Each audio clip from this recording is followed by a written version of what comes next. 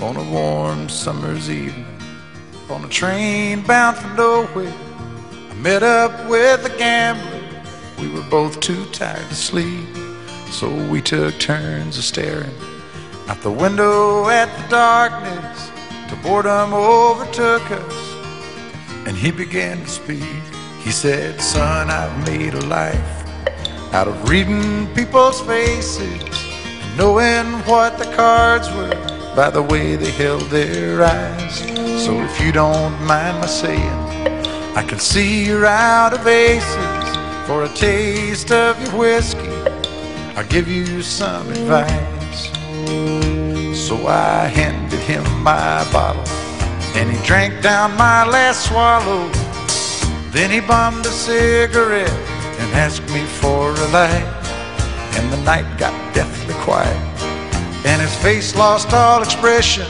Said, if you're gonna play the game, boy, you gotta learn to play it right.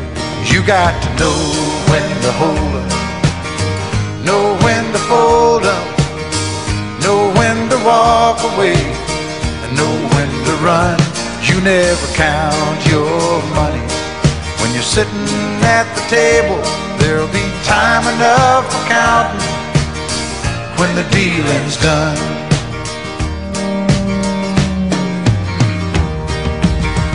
Every gambler knows that the secret to surviving is knowing what to throw away, knowing what to keep. Cause every hand's a winner and every hand's a loser. And the best that you can hope for is to die in your sleep. And when he finished speaking, he turned back toward the window, crushed out his cigarette faded off to sleep. And somewhere in the darkness, the gambler he broke even. But in his final words, I found an ace that I could keep.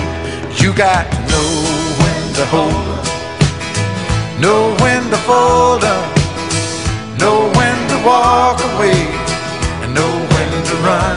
You never count your money when you're sitting at the table.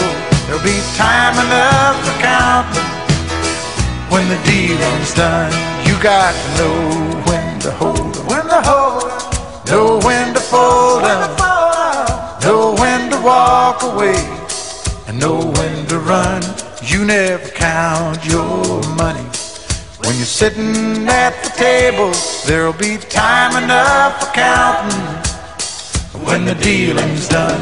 You got to know when to hold up, know when to fold up, know when to walk away, know when to run. You never count your money. When you're sitting at the table, there'll be time enough for counting when the deal is done. On a warm summer's evening on a train bound for nowhere. I met up with a gambler. We were both too tired to sleep, so we took turns of staring out the window at the darkness till boredom overtook us. And he began to speak. He said, Son, I've made a life out of reading people's faces and knowing what the cards were by the way they held their eyes. So if you don't mind my saying, I can see you're out of aces for a taste of your whiskey. I'll give you some advice.